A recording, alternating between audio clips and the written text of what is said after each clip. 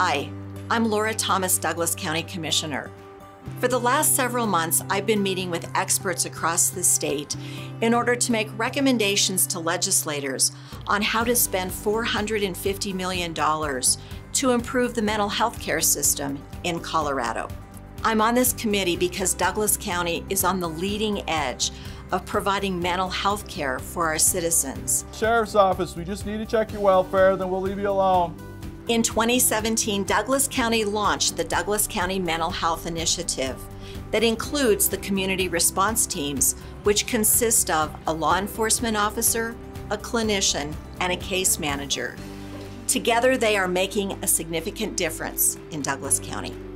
In the first 11 months of 2021, our community response teams had 1,800 conversations and as a result of those conversations, 270 people did not end up in an emergency room.